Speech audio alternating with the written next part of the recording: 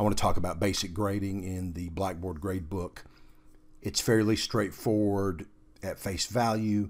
Of course, there are situations that may become a little complicated or cumbersome, and that's why you're going to ask for help when you need it. So I have three basic types of situations here. We have a quiz that, by virtue of it being comprised of multiple choice true, false, matching, or hotspot questions, the system automatically grades the assignment and posts that grade. There's no human intervention needed. I'm under this pretend student user. If I want to view the results of that quiz, I just click and I can go to view. Post we don't need to do because we've already allowed the system to post that grade automatically.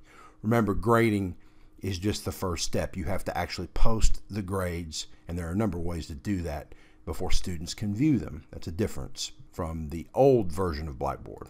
So if I just go to view, it gives me a lot of information about that particular quiz attempt, when it was submitted, the questions and the student answer as well as the correct answer. You also have a section here where you could leave feedback. Uh, probably not something most instructors want to do for a multiple choice true false matching hotspot type of quiz or exam.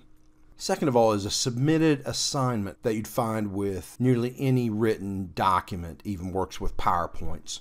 Notice that I have an alert that this particular grade is a new submission, even though I think this one's very old. In order to grade that, I could just click grade now. And then I could go to, I could just assign a grade blindly. That would be unwise. But I'm going to click view. And it's going to take me to an inline grader.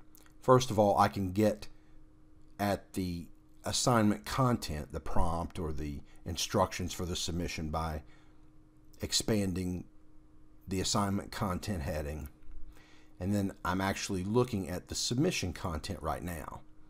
And so directly beneath that is a link to download this RTF file. That's just a basic word processing file. But you don't have to do that. You can use the inline grader, which is comprised of several tools, including a drawing tool, the ability to insert an image or stamp, the ability to highlight a particular word or phrase and insert a comment.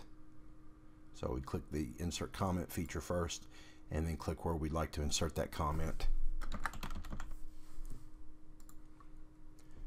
The ability to undo or redo an action, the ability to add text on top of the document. And we also have some other capabilities. Here's another download button. Here's a print button. We can look for words or phrases within the document. And if we had content in a content library, such as a handout or some other type of quick document we would like to attach to that visual feedback, we could certainly do so. So after grading, we can, in the upper right corner of this screen, assign a grade, give some additional general feedback via the feedback for students section in this panel. Can also collapse that if we don't want to see it. And then we can hit save. Now, after doing that, the grade is not yet posted. So, in order for that student to see your feedback, see the grade, you need to click inside the cell that represents that student and that particular assignment and then click post. Now you'll notice that it is posted. Last major type of grading is grading a discussion board post. Again, same kind of concept. I'm going to click grade now, going to view the post.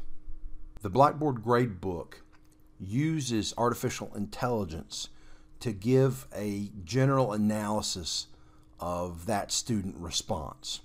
It will give a score comparing the sentence complexity, number of content versus functional words, a critical thinking score, how much word variation exists in the student post.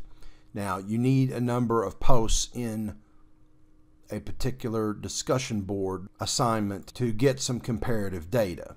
I've used this in my fall class, and I found that it's interesting, but not particularly helpful unless it's just confirming what you think you already know. A three sentence response is going to have a much lower score than a two page response, obviously. But it is interesting. It, it just confirms for me the students, I believe, are already doing a really good job, you tend to get a higher score with more uh, lexical complexity and variation between content and functional words. So we could, uh, at this point, assign a grade. You could click this plus just to the right of the grade assignment and leave feedback. Going back to the grade book, the grade is present, however, it's not posted.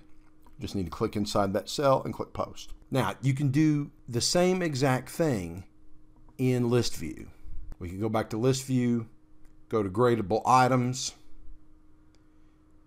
and then rather than see the student and every gradable item in a grid format, we have a list view for just this quiz. And so all the features and functions are present, they are just displayed differently. So, as quickly as I could explain it, that is basic grading in the Blackboard gradebook using grid view.